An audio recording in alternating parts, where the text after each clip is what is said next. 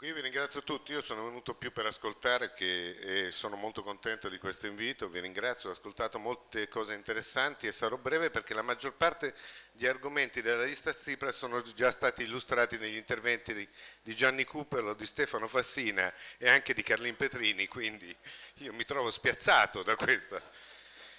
Io eh, recentemente è stato citato anche da Vendola, c'è una frase che ci siamo scambiati con Monio Vadia mesi fa quando abbiamo deciso di candidarci, era una frase di Bertolt Brecht che spiega anche lo stato d'animo di molti che ci hanno votato, che ci siamo seduti dalla parte del torto perché tutti gli altri posti erano occupati. Ora io non ho mai fatto mistero durante la campagna elettorale, credendo, chiedendo anche voti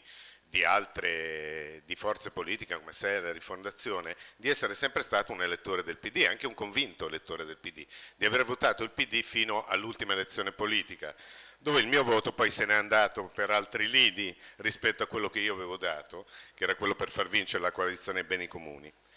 E, eh, ho, credo anche di essere stato il primo giornalista di un quotidiano nazionale a aver intervistato Renzi e aver parlato del fenomeno Renzi. Eh, ho raccontato per i lettori di Repubblica la Leopoldo e come ricordava prima Gad Lerner invocavo un ricambio generazionale nel PD, che, cosa che qualcuno ancora mi rimprovera,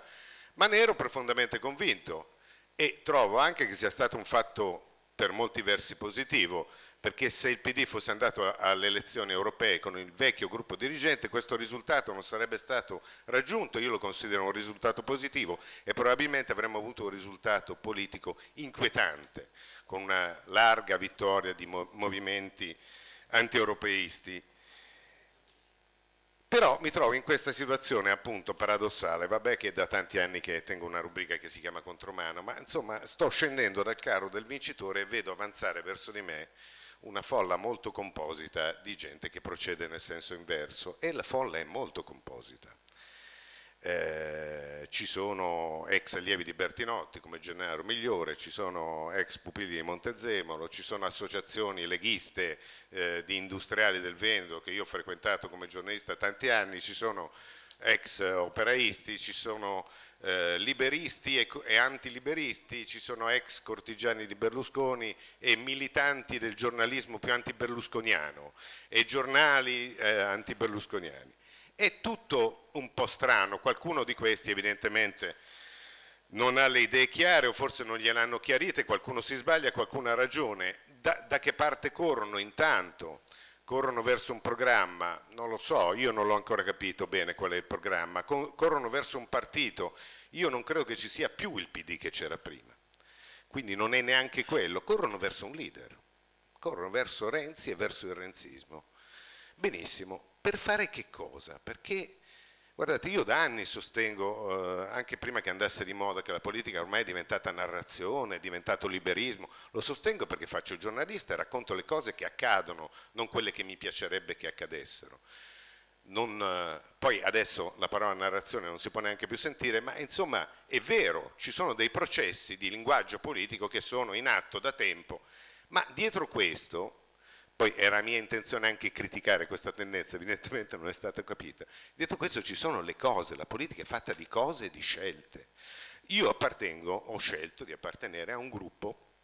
che è la sinistra europea, che è un gruppo molto composito, fatto di tendenze molto diverse, che si è molto rinnovato nel, in questa elezione grazie alla vittoria, soprattutto nell'area dei cosiddetti chiamati simpaticamente PICS dai tedeschi, eh, Portogallo, Italia, Spagna, Irlanda, Grecia, so, l'avanzata di movimenti di sinistra cosiddetta radicale che hanno cambiato la natura di quel gruppo, che era una natura mm, diciamo un po' reducista. E quindi ci sono varie anime anche nel gruppo della sinistra europea, sono, non è che ci siano poi molti mm, punti in comune tra i movimentisti di Podemos e il PCP, Partito Comunista Portoghese, che ci sottopone documenti di 20 pagine anche se bisogna decidere la pausa mensa. Però c'è dietro che cosa? Un leader? Un, no, c'è dietro un programma. Noi abbiamo, abbiamo, cercato per tutta la campagna elettorale di parlare di un programma, di un programma eh, il cui principale eh, ispiratore è Alexis Tsipras, che è un programma coerentemente contro l'austerità. Dei punti di questo programma io non ho ancora capito, sinceramente ve lo chiedo, qual è la posizione del PD di Renzi. sul fiscal compact, sul patto, eh, sui patti di stabilità e sul eh, pareggio di bilancio inserito nella Costituzione quando l'Europa non ce lo chiedeva. Io non so qual è la posizione del PD di Renzi, vorrei conoscerla. E non è una questione che possa essere risolta con trucchi o retoriche televisive, non si può dire noi siamo per attenuare. Io ehm, assisto a una trasformazione interessante del giornalismo italiano che sta scoprendo cose che nessun altro giornalismo europeo scopre. Per esempio nei giornali stamattina su tutti i giornali europei non c'era traccia, evidentemente sono meno bravi, del successo diplomatico ottenuto dal PD eh, presso la Merkel e le politiche di austerità eh, che invece, secondo i giornali italiani, eh, Renzi ha ottenuto, perché in un documento è stata inserita, mi pare, una formula come migliore uso della flessibilità.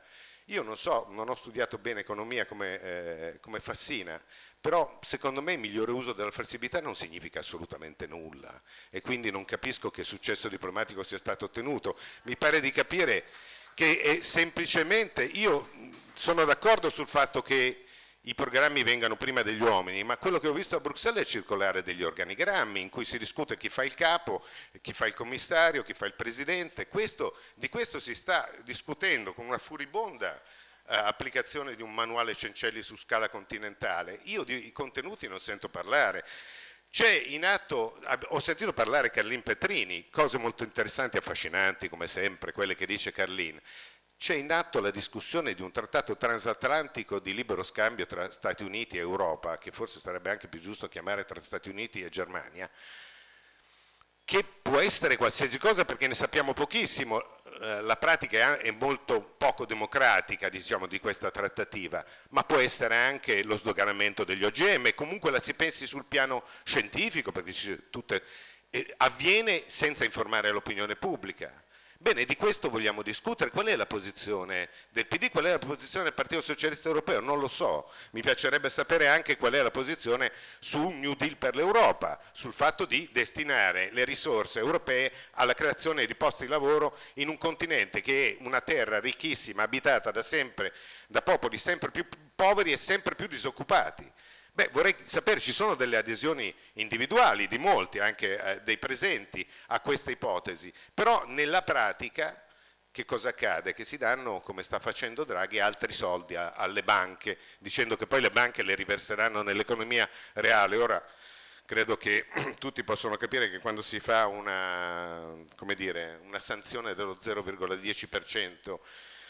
tutti possono capire che è una presa in giro, che quei soldi finiranno nei bilanci delle banche come sono finiti i soldi spesi dal, in tutti questi anni per ripianare i bilanci delle, delle, banche. Non so neanche quale sia la posizione rispetto alla riforma della BCE, alle riforme che tendono a separare le banche diciamo, che raccolgono il risparmio dalle banche d'affari, su tutte queste posizioni bisogna fare una scelta, non si può fare una cosa e anche un'altra, come nella imitazione di Veltroni fatta da Crozza. Non si può essere contro l'austerità, ma anche molto d'accordo con la Merkel, non si può. Bisogna fare una scelta e chiarirla e tenersi in questa ambiguità rinviando, con la politica del rinvio, che non è una cosa, permettetemi, modernissima, chiedere che il fiscal compact sia rinviato di un po' o scontato di un attimo e il pareggio in bilancio sia rinviato un anno, a parte il fatto che probabilmente non verrà concesso e secondo eh, Federico Fubini, che è un collega di cui ho molta stima, eh, oggi lo scrive su Repubblica, non verrà concesso. Ma non significa niente, il fiscal compact e eh, il pareggio di bilancio in, eh, nella Costituzione sono due punti di una politica sbagliata che va da anni, ne avanti così, producendo eh, depressione, producendo disoccupazione, che continua ad andare avanti così e produrrà gli stessi risultati, perché è folle pensare che replicando la stessa politica si otterranno risultati diversi in futuro quando in passato si sono ottenuti questi. E quando si passa dall'Europa, l'Europa è un posto dove si chiarificano le posizioni, dove anche molte ambiguità della politica italiana si disvelano, per esempio quella di Grillo, no? abbiamo visto tutti, quando si tratta poi di sedersi da una parte, di scegliere quale è stata la scelta di Grillo. E però bisogna anche che si disvelino alcune ambiguità della sinistra italiana, perché una volta che si sceglie di stare dalla parte della grande coalizione che prosegue la politica dell'austerità si fa una scelta e non è una scelta dove poi puoi ottenere di piccole contrattazioni, questi patti non sono negoziabili, ce l'hanno ripetuto molte volte, continuano a ripetercelo anche al di là del gioco poliziotto buono, poliziotto cattivo, come ha scritto qualcuno. E poi c'è la questione delle, delle, scelte in Italia. Io mh, mm, appartengo a una lista che si è presentata in Europa, ma insomma seguo le vicende italiane. Ora ci sono delle scelte. La parola riforme, che ormai è diventata anche quella molto logora e molto usata, riforme, riformismo, come diceva giustamente eh, Fassina, bisogna vedere poi che cosa davvero, il cambiamento non è neutro. Allora questa legge, il combinato tra la legge elettorale e questa riforma del Senato è chiaramente di segno a mio parere autoritario. Se l'avesse fatta Berlusconi io sarei in piazza, non capisco perché dovrei approvarla se la fa qualcun altro, non lo dico solo io, lo dice Eugenio Scalfari che magari non è della lista Tsipras. Cioè pensare di fare una legge elettorale con queste strane soglie di sbarramento che non, che non ripara nessuno dei vulnus individuati dalla Corte Costituzionale rispetto al Porcellum, che ha sempre le liste bloccate che ha sempre un premio di maggioranza incongruo e che è per giunta con un, con un Senato di non eletti, beh, insomma, è, non so come altrimenti chiamarlo, se no un disegno autoritario al quale io mi ribello, chiunque lo proponga. E così vale per altre, per altre, questioni, perché qui si parla di riforme e forse anche un po' troppo su temi istituzionali. Ci sono dei problemi in questo Paese che io come giornalista e negli ultimi vent'anni ho, visto peggiorare costantemente. Chiunque fosse il governo, forse soltanto il primo governo Prodi ha cercato di spostare la barra su alcune questioni centrali di questo Paese, che sono la corruzione della politica, che sono la che sono la, la, il potere crescente delle mafie, eh, che sono l'intangibilità dei poteri forti dei sistemi bancari eh, e della finanza, che sono l'evasione fiscale dei grandi patrimoni, che sono una perenne redistribuzione del reddito dal basso verso l'alto. E sono anche, vorrei aggiungere, perché so che sembra un po' fanatico sull'argomento, ma in questo grande clima di ammirazione per la Chiesa vorrei anche ricordare che comunque esistono delle influenze del Vaticano sul,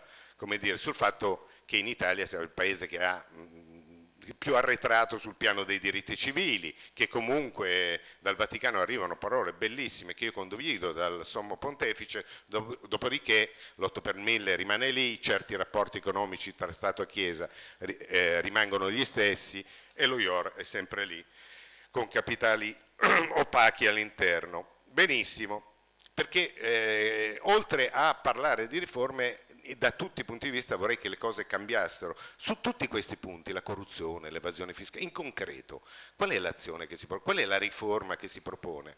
Perché eh, sul lavoro, sul lavoro questi, questi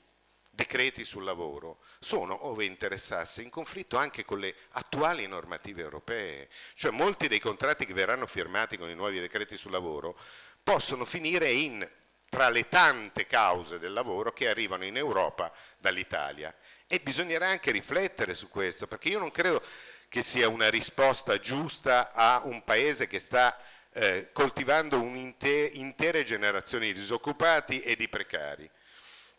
Ci sono in tutto questo molte ambiguità da chiarire, ci sono anche, vorrei chiudere da questo punto di vista, delle, delle cose positive nel nuovo corso del PD che io riconosco. Una cosa positiva è che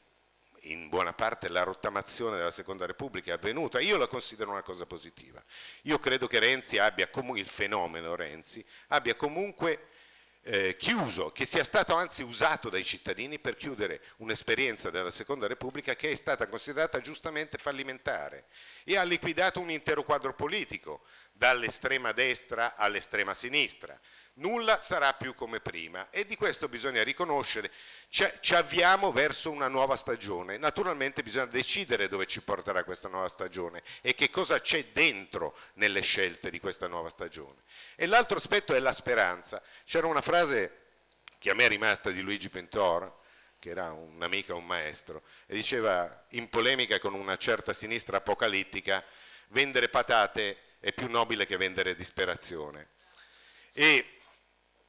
me lo sono ricordato anche l'ultima volta che sono andato in Grecia perché c'è un movimento in Grecia guidato da un professore universitario che si chiama Potato Movement e che vende le patate. Vende le patate senza passare dalla distribuzione a famiglie dove ormai la, nel cuore della ricca Europa la mortalità infantile, anche la, la, la denutrizione dei bambini ha raggiunto livelli spaventosi. E quindi io penso che vendere patate sia meglio che vendere disperazione e penso che un compito della sinistra fondamentale sia evocare speranze. E in questo capisco che quello che ha fatto il PD in questi mesi è di evocare grandi speranze. Però dobbiamo anche capire che cosa c'è dietro questo, cioè che modello, che visione di società c'è, perché se la visione di società è semplicemente come dire, rinnovare, il rinnovamento, il cambiamento punto neutro e allora è una speranza che è destinata presto a cadere e a tornare e a rivolgersi in disperazione. Se dietro questa speranza c'è la volontà di cambiare realmente la vita materiale di milioni di italiani, di decine, centinaia di milioni europei, allora possiamo fare un largo tratto di strada assieme e cominciare